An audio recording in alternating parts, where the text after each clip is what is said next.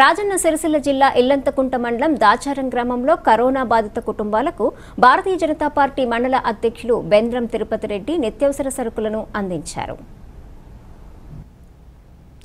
ఎల్లంతకుంట మండలం దాచారం గ్రామంలోని ఆరు కుటుంబాలు కరోనా వ్యాధితో బాధపడుతున్న వారికి భారతీయ జనతా పార్టీ మండల అధ్యక్షులు బెంద్రం తిరుపతి రెడ్డి మనోధైర్యాన్ని నింపి ప్రతి కుటుంబానికి నిత్యవసర సరుకులు అందించారు. వీరి వెంట గజ్జల శ్రీనివాస్ పొన్నం కృష్ణ కుడుమల శ్రీహరి సూదుల కిషన్ కంచె మహేందర్ చెప్పాల గంగాధర్ ఎల్లంకి శ్రీనివాస్ సమల్ల దయాకర్ పిండి శ్రీనివాస్ రెడ్డి కంచె స్వామి సలేంద్ర అజయ్ బర్ల శేఖర్ మందస్వామి గజ్జల శంకర్ పొన్నం బాగయ్య గజ్జల స్వామి తదితరులు పాల్గొన్నారు.